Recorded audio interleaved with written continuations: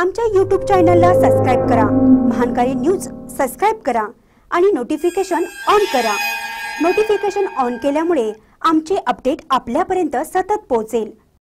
शिरोळ तहसील कार्यालयासमोर पार्किंगचा बट्ट्याबोळ. वाहन बाहेर काढताना होते तारेवरची कसरत. शिरोळ तहसील कार्यालयासमोर पुन्हा पार्किंगची व्यवस्था बिघडली आहे. वेळोवेळी याला शिस्त लावण्याचा प्रयत्न केला पण येथे पार्किंगच्या व्यवस्थेची शिस्त बिघडली आहे. शिरोळ हे तालुक्याचं ठिकाण असल्याने येथे तालुक्यातील त्रेपन्न गावातून नागरिक येथे सरकारी व अन्य कामांसाठी येत असतात. त्यामुळे येथे वाहन पार्किंग करताना आपणाला सोयीस्कर पडेल अशा ठिकाणी वाहने लावली जातात. कधी गेटच्या आत कधी बाहेर तर गेटच्या मध्येच वाहन पार्किंग केलं जातं. या ठिकाणी पार्किंगचा फलकही लावण्यात आला आहे पण याकडे वाहनधारक सोयीस्करपणे दुर्लक्ष करत आहेत.